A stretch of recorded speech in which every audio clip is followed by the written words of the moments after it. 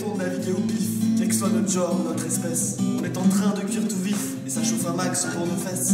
Arrêtons de naviguer au pif, car la réponse est juste là. C'est le courant alternatif, ça s'appelle Alternativa.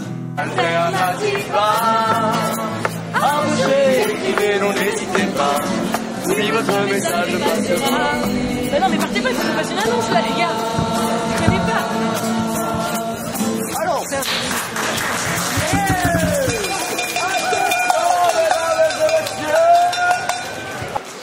Voulais juste euh, parler de l'Islande où j'étais au mois d'août et où j'ai trouvé que c'était très intéressant justement euh, qu'ils avaient euh, élu, un, enfin choisi un comité de 25 euh, citoyens qui ont été tirés au sort parmi ceux qui se proposaient pour refaire la Constitution. Je trouve que c'est un exemple intéressant. C'est tout, c'était un témoignage.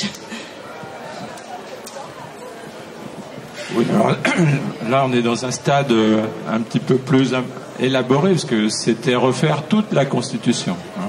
Donc, euh, il y a effectivement des associations qui militent pour euh, revoir l'ensemble de la Constitution. C'est une question, effectivement, alors c'est un peu plus compliqué. Nous, on propose simplement de revoir quelques articles. Mais c'est une possibilité, effectivement. Il y a, si vous cherchez sur le net, il y a, des associations, il y a les, euh, les citoyens constituants qui ont, qui ont travaillé là-dessus, notamment euh, un- quelqu'un qui s'appelle Étienne Chouard, donc qui a un site internet également, donc que vous pouvez, euh, pouvez retrouver. Bonjour. En fait, vous avez conclu en disant qu'il fallait qu'on arrête d'acheter des conneries. Donc, euh, pour ma part, je suis d'accord.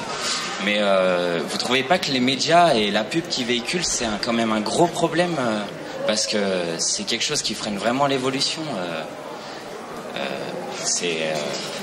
Enfin, est-ce que vous, vous avez des solutions dans ce domaine-là ou. Enfin, c'était juste une question comme ça, voilà. Merci.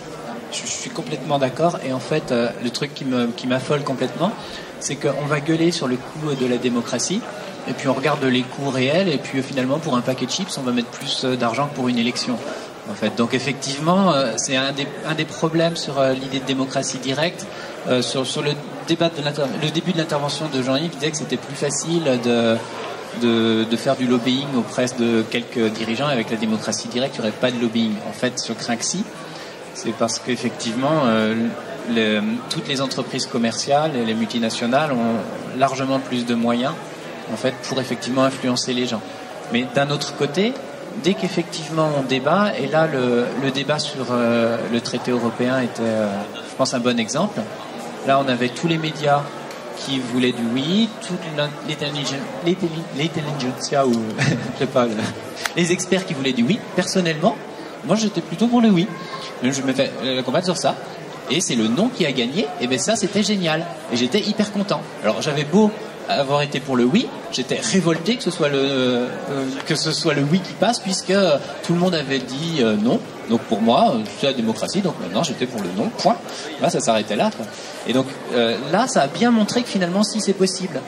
C'est-à-dire que si effectivement on débat, si on prend le temps de débattre, voilà, on peut avoir un avis différent. Donc concrètement pour la consommation, ça veut dire quoi? On est un peu gêné par la loi, par l'interdiction de, de faire des appels au boycott, mais euh, ça veut dire qu'il faut le faire. C'est-à-dire que même quand, euh, si on nous l'interdit, bon, euh, oui, en plus je me filme, donc oui, en tant qu'agent public, je me filme, oui, il faut aller contre la loi dans ce cas-là. Euh, concrètement, il faut le faire, il faut dire, bah non, moi j'achèterai pas cette connerie, il faut en parler autour de nous.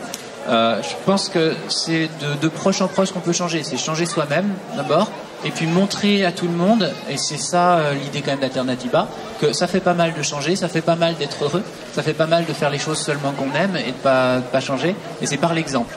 C'est par l'exemple seulement qu'on va pouvoir le changer. Et ce- on n'a pas accès à de la grosse manipulation, à la grosse truc, et c'est tant mieux. Voilà. Le seul truc, c'est nous-mêmes, toujours de faire un pas de côté et de dire, bah oui, c'est possible je peux le faire et je me sens bien, puis d'en parler autour de soi. Je pense que si, c'est possible, il n'y a pas de solution miracle. Ça se fera seulement si euh, il y a une majorité de personnes à le faire et à vraiment le vouloir. Après, peut-être que c'est pas ce qu'on veut, et peut-être qu'il y a une majorité de personnes qui ont envie de crever dans 100 ans, enfin, que l'humanité s'arrête, bah, elle s'arrêtera dans ce cas-là, c'est tout. Mais euh, je pense que si, c'est possible. Je vois pas.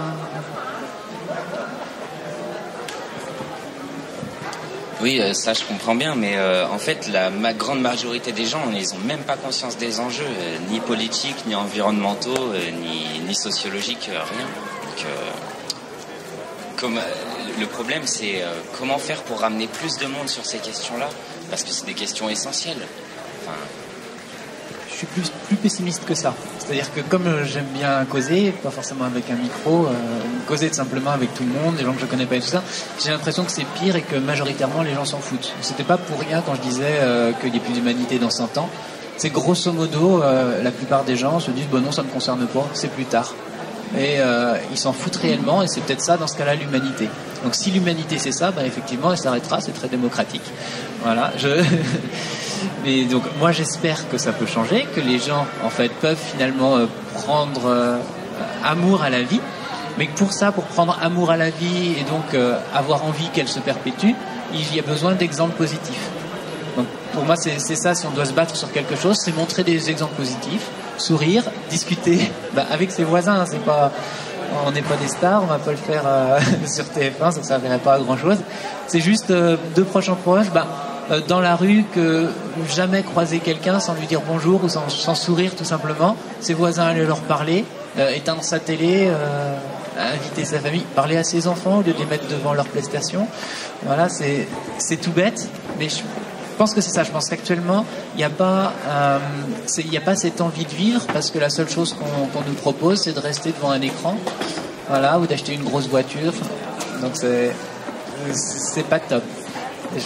Je pense pas que ce soit une question forcément de conscience, mais c'est de perspective positive. Il n'y a pas une perspective positive qui fait qu'effectivement on a envie de continuer. On le dit pas, on se suicide, mais concrètement on le fait. Et je ne crois pas à l'idée que les gens ne le savent pas qu'on est en train de se suicider. Je pense que c'est quand même à peu près connu que la consommation actuelle euh, ne, ne tient pas. J'aurais une, j'aurais une question. Je reviens- voudrais revenir sur le problème des systèmes des élections. Euh, euh, Est-ce qu'il n'y a pas urgence du fait de parce que justement il y a une prise de conscience ou d'inconscience.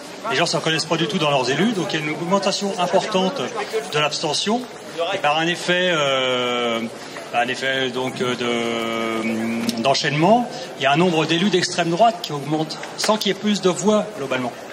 Est-ce qu'il n'y a pas une urgence et est-ce que les partis, euh, autres partis institutionnels, devraient pas accepter de scier la branche sur laquelle ils sont assis? Il faut changer complètement les choses. Il y a un petit peu une urgence. Oui, il y a toujours un chantage par rapport à l'extrême droite. Et s'il n'a pas marché pour l'Europe, il faut toujours ce chantage-là pour faire passer les, mêmes. Oui, écoute, je, je vais te répondre là-dessus. Euh, c'est un peu le. Quelle est la position des partis sur la démocratie directe? C'est un peu ça ta question. Euh, eh bien, il faut savoir que la plupart des partis politiques ont dans leur programme la démocratie directe. Ils l'ont, mais quand ils sont dans l'opposition. C'est clair, quand ils ne sont pas au pouvoir, ils sont tout à fait d'accord pour instituer la démocratie directe.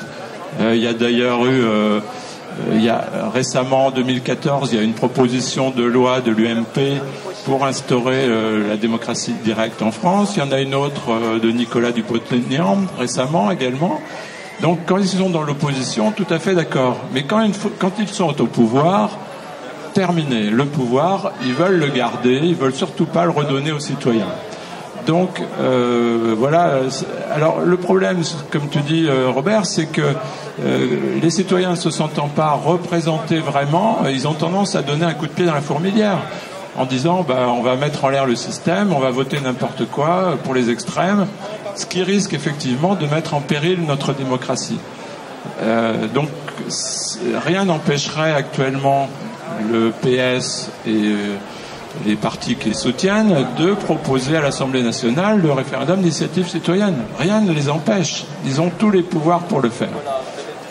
Quand on va les voir, on a du mal à avoir des réponses. Voilà.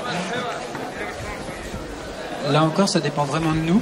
Comme euh, je fais aussi de la politique et je vois en fait le, côté réellement euh, euh, dé- dé- délabré en fait de, des, militants, en de, des structures politiques. En fait, dans la plupart des partis politiques, quand il y a une réunion et qu'il y a 20% des adhérents, ben, on est vachement content. C'est-à-dire que les gens s'intéressent pas à ça. Du coup, qui est-ce qui va effectivement parler dans les partis? Qui est-ce qui va vraiment décider dans les partis politiques? Ben, C'est les quelques élus Et c'est pas parce qu'ils le veulent vraiment décider, ils font des réunions publiques, font des choses, mais il n'y a personne qui vient directement. Donc je crois que si on veut effectivement que ça change, ben, faut y aller. Il faut pas forcément adhérer à un parti, c'est pas obligé, mais il faut aller aux réunions. En fait, il faut débattre, il faut s'exprimer là. Si on s'exprime pas, forcément, euh, rien ne changera. Parce que là, euh, j'ai vu euh, des, dizaines, vraiment des dizaines de réunions où des élus vont présenter ce qu'ils font et où il n'y a personne. Donc c'est-à-dire qu'il faut, si on veut que ça change, il faut s'investir en politique. Il faut pas, faut pas se dire que c'est sale. Il faut se dire, bah voilà, euh, je veux que ça change, donc j'y vais et puis je, je fais entendre ma voix. Sinon, ça changera juste jamais. Oui, je rappelle donc euh, ce que je disais tout à l'heure. euh, N'hésitez pas à signer la pétition pour le référendum d'initiative citoyenne. Il y a quelques tracts ici. Euh, faites, faites-la connaître et n'hésitez pas à la signer. hein. On prend d'autres questions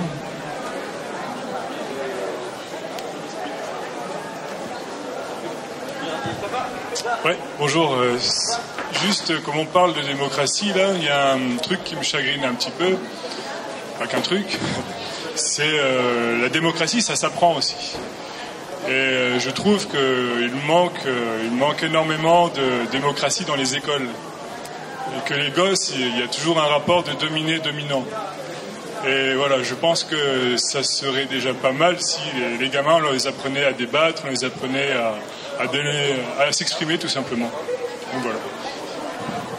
En fait, dans les écoles, ça existe, cette, cette initiation à ça, et puis il y a eu les délégués de classe et tout ça, mais il faut pas se leurrer, euh, l'école, c'est pas un endroit pour apprendre en France. L'école, c'est un endroit pour sélectionner. C'est un endroit pour formater les gens. Donc forcément, ça formate, ça sélectionne, ça apprend la compétition entre les gens. Donc ça, ça apprend pas du tout la démocratie. On n'apprend pas la démocratie quand il y a quelqu'un qui va euh, vous juger, vous donner une note. Voilà, c'est juste ça. Faut pas, faut pas penser que l'école va, euh, va effectivement faire autre chose que ce pourquoi elle est faite actuellement. Ça peut changer, mais actuellement, elle est juste faite pour sélectionner les gens. Donc, euh, c'est pas, franchement, sur, l'école que je m'appuierais, c'est plus sur le débat, chacun dans la rue, tout le monde euh, parler. Quand on a parlé tout à l'heure, euh, oui, euh, à cause de ça, il y a plein de manifs en France et tout ça. Ben, moi, je trouve ça très bien. C'est-à-dire que les manifs, j'adore ça. C'est, faut pas avoir peur de la rue. La rue, c'est très bien. On s'exprime, on parle ensemble. Ça fait partie des droits. Se rassembler, débattre, tous ensemble. Voilà. Par contre, je suis non violent, donc forcément, je parle pas de, manif violente, mais juste le fait d'être dans la rue, de débattre, de faire du bruit, en fait, de poser questions, c'est hyper important.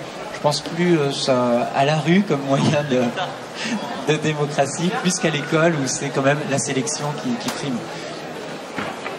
Oui, pour répondre à ta question, euh, il faut savoir qu'en Suisse, euh, la démocratie directe est, enseignée à l'école sans problème, puisque euh, vous trouverez sur le site de l'Institut pour l'initiative référendaire en Europe, vous trouverez un DVD qui, est, qui est cha- téléchargeable avec toutes les procédures qui existent.